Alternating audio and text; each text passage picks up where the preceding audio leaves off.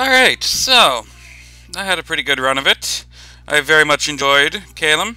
Now I'm going to say, I wouldn't mind playing Caelum again in front of the cameras, if it came to it. Maybe not, maybe in a few. I don't know how many of these I'm going to end up putting up, because my life has a way of suddenly filling up fast, and then I won't be able to publish these for a good long time. So I'm going to put up the next one I'm doing now, and then probably I'll do a break for a while. I might do a third, but eventually I'd like to come back and look at Caelum again. And basically, I think there were quite a few things I did badly wrong. Um, first of all, I'd never played Caelum before. I had, I think, prepared for a late age Caelum game back in Dom 3, but for whatever reason I never actually played it. And um, yeah, so I didn't really know what I was doing. It's also been a long time since I played an Air Nation at all. So this whole Thunderstrike, Cloud Trapeze game going on, I um, didn't really know exactly what I was doing. Um, but I think I did pretty well, despite that. Um, yeah. Uh, the God I think the god was kind of a stupid god. Um, first thing I'm going to do is show you what I reckon I would go for with a god. Now, I actually have two different gods that I would love to play as if I had to do it again. One of them is more fun, the other is a bit more powerful. I'm going to show you the bit more powerful one, because that way next time I play Caelum, I can go, I can play the bit more fun one myself, and hopefully I can do it on camera, but I might do it single player. We see how it goes. But as I said, I'd love to see Caelum again, and with me knowing more what I'm doing. So let's let's take a look at what I would go for as a god, or what I would recommend as a god. So just a sec. Alright, so basically in that game I took a Rainbow Titan, and I have a bit of beef with the god I chose. Basically, site searching, it was not very optimal. Every two turns, I searched level 4 in Astral, Earth, and Water and I only got a chance to search like four or five provinces before I needed uh, the god in the lab. So what I was thinking is I don't really need to search earth and water because my kings are already searching it halfway and I can easily boost my way up to searching it better. Um, what I would instead do is actually go with an immobile because that wouldn't tempt me to go walking around with the god and every turn walking is one turn I'm not doing something useful with the god. So I'm actually thinking in a mobile, and then my initial expansion, my first year or so with the god, I'll just be casting Arcane Probing. And hopefully I'll get a decent amount of, of Astral Pearls that way. I'll get twi I'll search twice as much for Astral in exchange for not searching for the other two, but the other two aren't as important because, as I said, I'm already searching them. So what I was thinking is something a bit along these lines.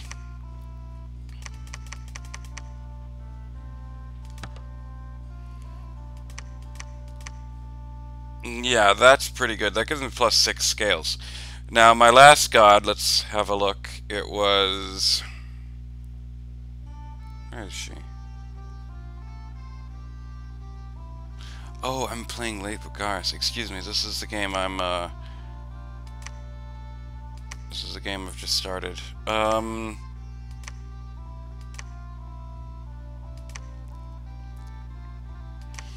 Alright, so the god I had was, I believe, Morning Star, and I had this.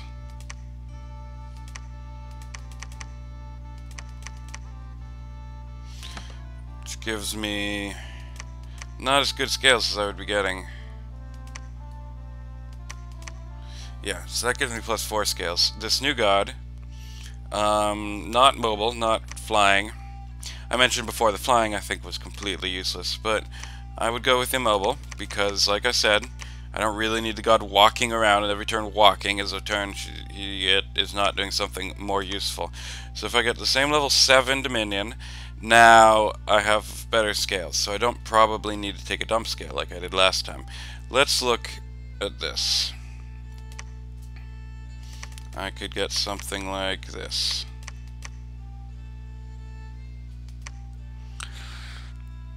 Now, I'm not sure what scales I would go with. One option I was actually playing around with is something like this. Now, I'm flying, so I like it when the rivers are locked down. But...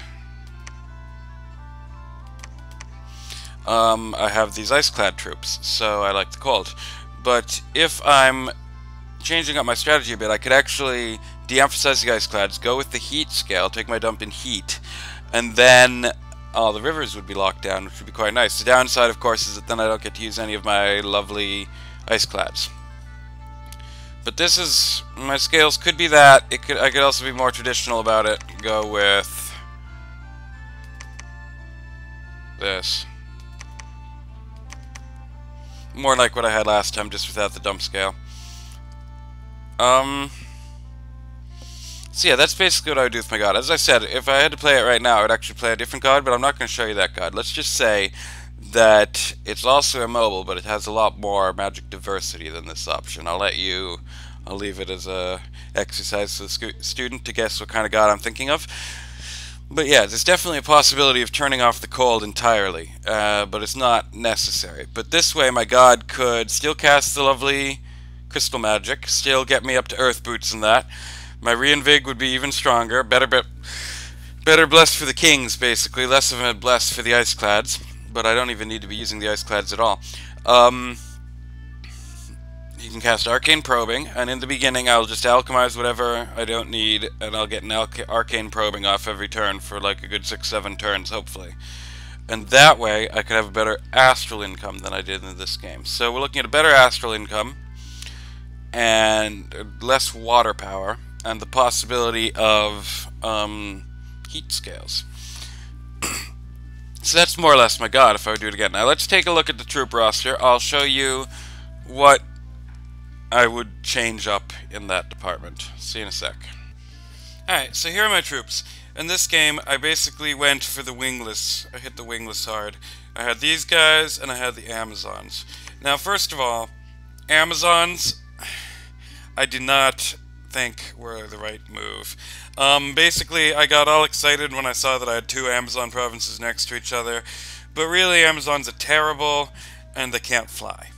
And even if they're maybe marginally better than my Caelian troops, um, I would much prefer to have a worse army that flew to a better army that didn't fly. I spent a load of gems on Amazons. Look at this. I just had this pile of Zons sitting here the entire game, unable to fly.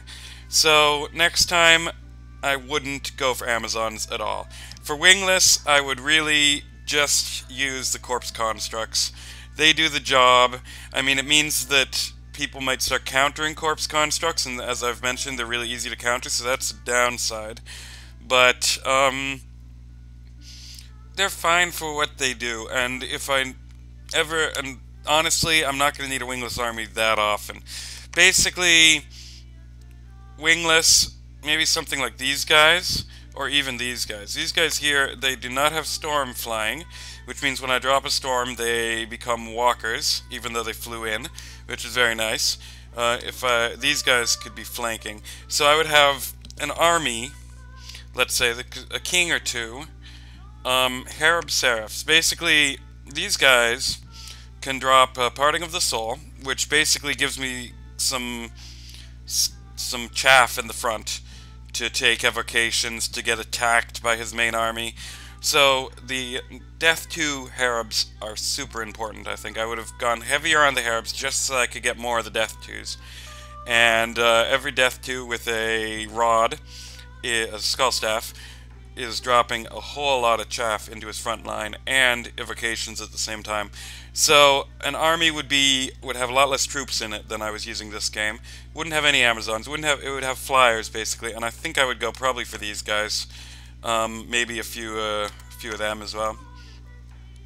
The ice clads are lovely, and if I did have the cold scale, I might use them. But they take a lot of resources. These they take twice as many resources as a raptor. And um, so I think the way I would do it would be I would have an ar you know what I'll do actually? Let I'll start a game and I will recruit an army and I will show you what kind of army. I would have multiple smaller armies, so I'll grab one of them. I'll show you that. Just a wee second. Alright, so I'm thinking something like this, basically.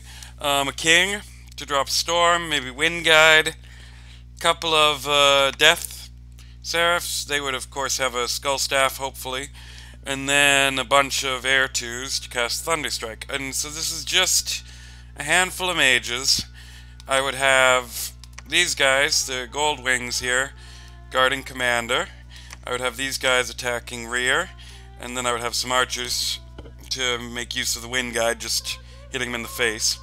And so these guys would be parting the soul. These guys would be thunderstriking, and then the king would be there for utility. I might even grab some uh, phantasmal warriors. I might just uh, do like um, storm, mist, uh, earth. What's it called? Wind guide and um, orb lightning or something. And I would have hopefully quite a few of these armies, and they would be jumping around. I wouldn't engage them in the in the main army. I would be flanking around with these guys. And then I would, of course, have Eagle King thugs flanking, and I would have Rain of Stones casters that I could throw at his main army. I think it could work out a lot better this way if I just keep myself flying. Don't worry about non-flying options, although of course I would grab a few corpse constructs just to have. If I did have the cold scales, it would be worth grabbing some of these guys to um, guard my capital, more or less. And um, the other thing is, I have these three sacred options. And uh, I only ever used these resource-intensive ice clads here, these wingless. And I'm thinking what I would do is actually uh, take another look at these guys. They're stealthy, they have a lance, they could be very nice. They might, uh, I might have arm, proper armies like this, and then geared kings, and then utility Rain of Stones casters, and then I might grab some sneaky sneaky Maria warriors with an area Seraphine, for example. So I would have a lot of vectors. The problem, of course, is I would not have a main Doomstack army. I would only be using flanking options, and against his Doomstack, I would have geared kings, that I could hit him in the back with. I could, for example, hit him with one of these armies and maybe two or three geared kings. And the geared kings could uh, flank, hit him in the back, try and kill some of his mages, while this army just held out in the front, for example. But what I would probably do, he has a Doom stack, let's say. I have a Rain of Stones caster. I hit his Doom stack every turn with Rain of Stones and try and whittle it down that way. Um, I have other options as well. I could, uh, I was thinking one option would be to use, um, take a thing from Late Age Ulm's book and use Lamias. It's another good option for a, a missile king. Well, this wouldn't be a king, this would be a Harab. Um, maybe one of these with a staff means he can cloud trapeze. So he cloud trapezes in, drops a few Lamias, retreats. I think that could be pretty brutal to a Doom stack. So the way I would deal with Doom stacks would be to whittle them down with flankers, basically. And then in the flanking war, I would attempt to win that way, gobble up all his rear provinces. Alright, let's take a look at the Ulm War. Just a sec. When I said uh, Lamias there, I meant Lamashtas. I often uh, make little mistakes like that, you may have noticed. But this time, I will catch it.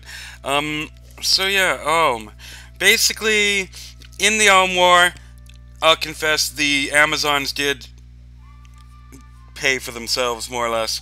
I think in an early war, there's definitely something to be said for having a Doomstack main army, even if um, it's going to be a lot weaker than his. But mainly, the reason why that would be there would be for um, to be a decoy, more or less.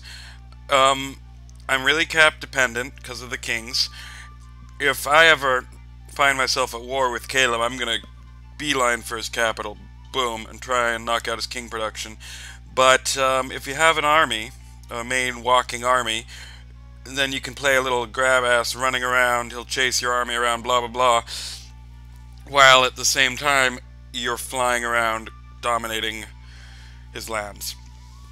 So my biggest uh, problem for the War is it took me a long time to co conquer all this stuff. Um, I really should have uh, had enough vectors of attack that I could uh, take out his flankers quickly and then turn to gobbling up all his hinterland. I think the war would have gone a lot quicker.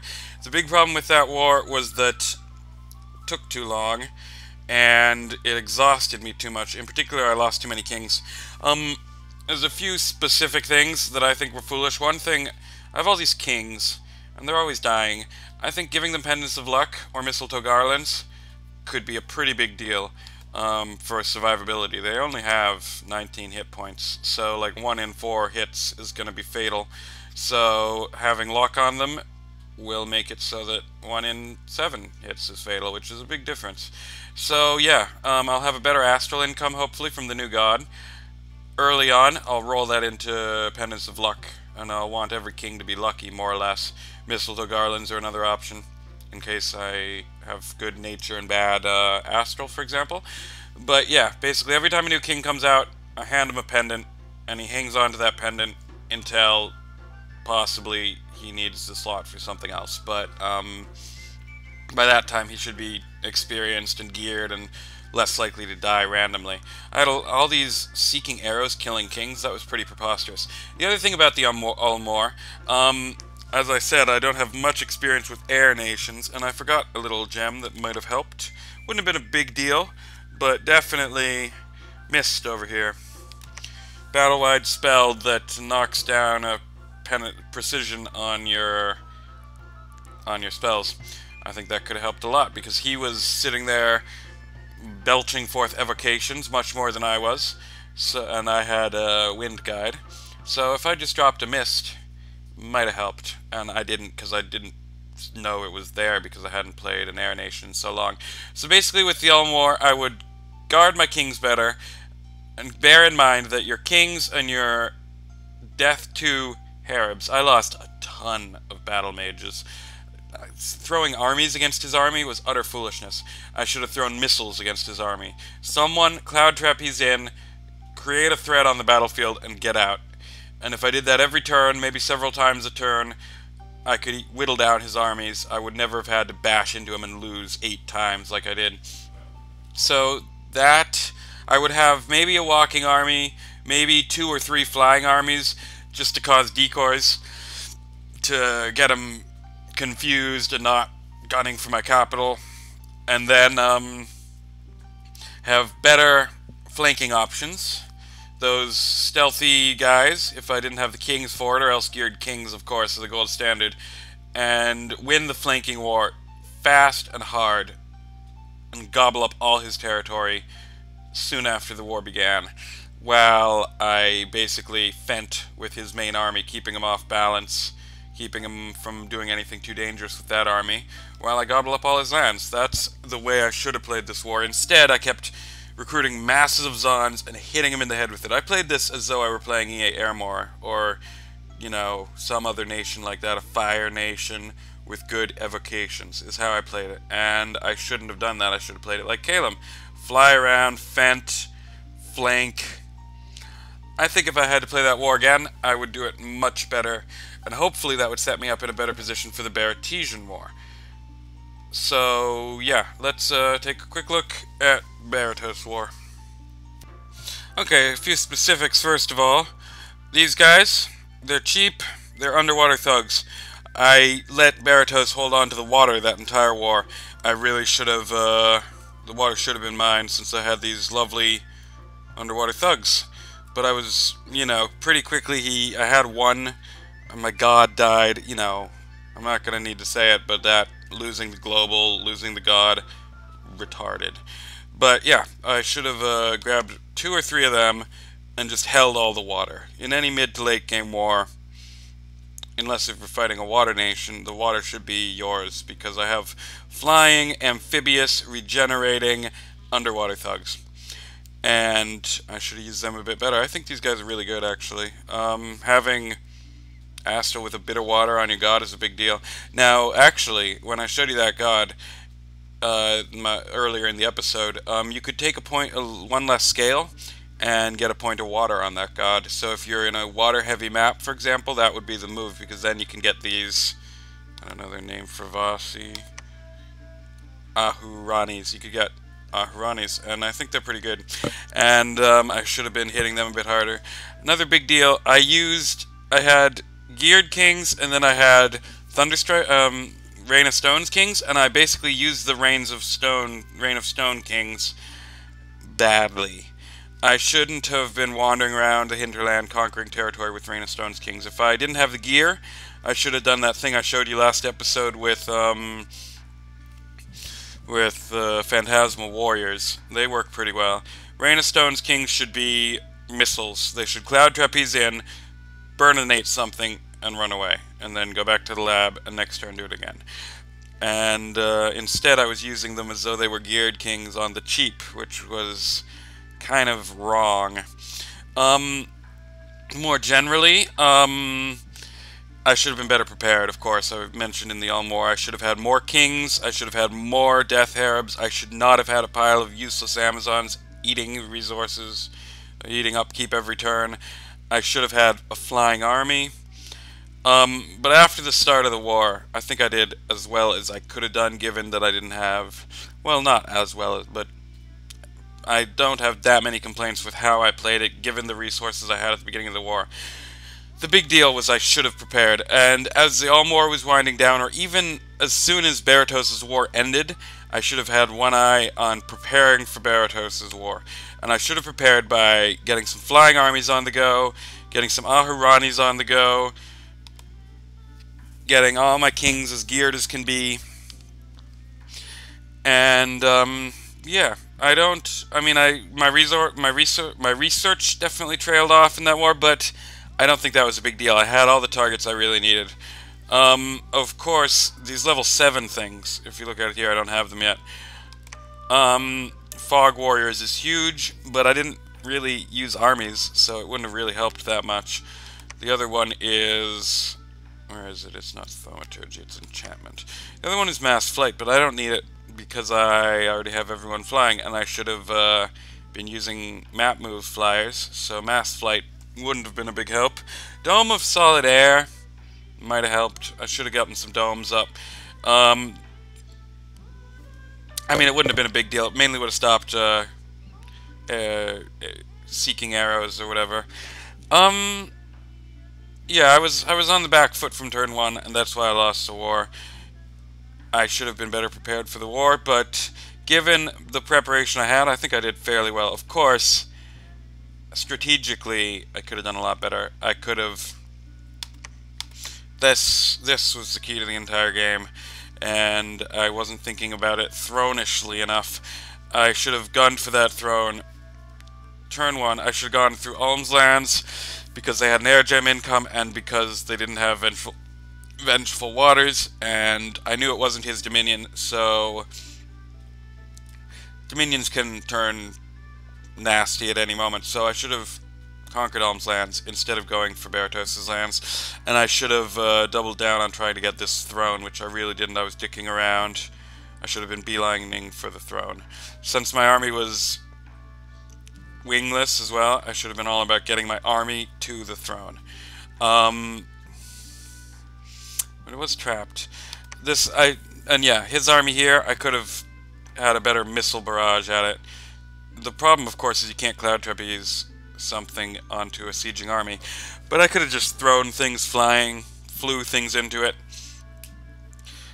I just let it sit there. I was worrying about this stuff. I should have had, like, a designated king who just, or two, or like a king and a, and a harab who every turn just created a threat for that army, killed a bit of it, and just whittled it down like that.